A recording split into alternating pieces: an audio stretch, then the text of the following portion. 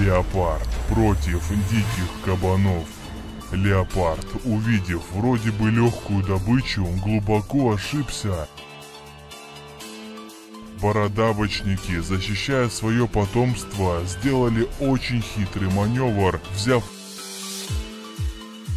разбег, они напали на кошку с разных сторон и не оставили ей шансов применить свою знаменитую реакцию. Этот урок она запомнит надолго.